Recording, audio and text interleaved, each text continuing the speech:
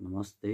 आज म यहाँहरूसम्म एउटा नयाँ शिवरात्रि नामको एउटा नयाँ गजल लिएर उपस्थित भएको छु जुन शिवरात्रिको नाममा विभिन्न विभिन्न विकृति र विसङ्गतिलाई निर्मूल पार्नलाई एउटा मद्दत गर्नेछ भन्ने पनि आशा राख्दछु।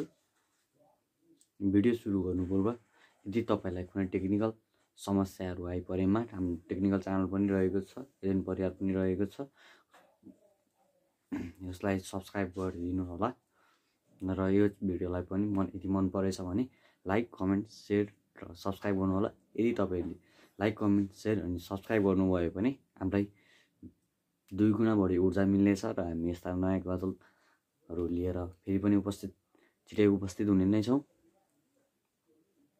शिवजीको नाममा भन्छन् तान्दिमेक सरको शिवजीको नाममा भन्छन् तान्दिमेक सरको एक सर्कोबाट दुनियाँ हुन्छ अरे अर्को एक सर्कोबाट दुनियाँ हुन्छ अरे अर्को चाडबाड र पर्वको नाममा विकृति यो बढ्दै गएको छ।